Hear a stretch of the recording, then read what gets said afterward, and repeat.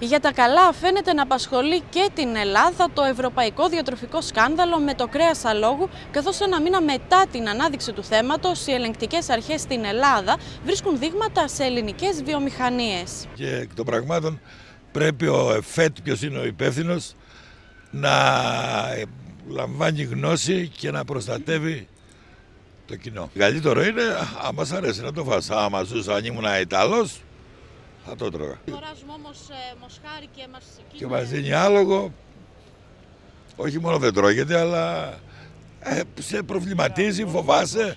Δεν βγαίνεις μετά να πας σε ένα μαγαζί να φας. Τελευταίο κρούσμα οι χθεσινέ ανακοινώσεις του ΕΦΕΤ για τις εταιρείες Ιφαντή και Νίκας, καθώς και για μια σειρά επιχειρήσεων catering. Οπωσδήποτε προβληματίζεται ο καθένας. Θα πρέπει να κόψουμε να τρώμε αλαντικά και τέτοια πράγματα για κάποιο διάστημα μέχρι να καθαρίσει η κατάσταση τουλάχιστον. Δεν ξέρουμε τι τα έχουν τα ίς. Απλώς είναι αγνώστη προελεύσεως και αυτό προβληματίζει τον καθένα. Τι είναι αυτό, τι είναι αυτό που μας ταΐζουν δηλαδή.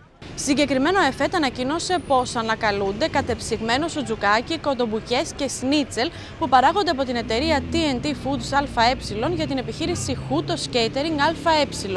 Προψυγμένα κατεψυγμένα μπιφτέκια υφαντής που παρασκευάζονται από την εταιρεία Υφαντής ΑΕ, Λουκάνικα, Φραγκφούρτης και Παριζάκη με εμπορική ονομασία Νίκας Μοσχάρι Παριζάκη που παρασκευάζονται από την εταιρεία Νίκα Σαβέ. Αν δεν το γράφει, δεν είναι σωστό. Αν, εάν λέω ότι ε, έχει ελεγχθεί, δεν νομίζω ότι είναι επικίνδυνο. Δεν πρέπει όμως να κυκλοφορεί, διότι αν λέει ότι έχει μοσχάρι και είναι ανάλογο, είναι δεν είναι σωστό. Ένα καλό από τους ελέγχους του ΕΦΕΤ είναι ότι στα πρώτα 8 αποτελέσματα που έδωσε το Γενικό Χημείο σε προϊόντα που είχαν DNA αλόγου δεν βρέθηκε επικίνδυνη ουσία φενιλοβουταζόνη. Συστήνω στον κόσμο να μην τα παίρνει αυτά μέχρι να ξεκαθαρίσει το πράγμα.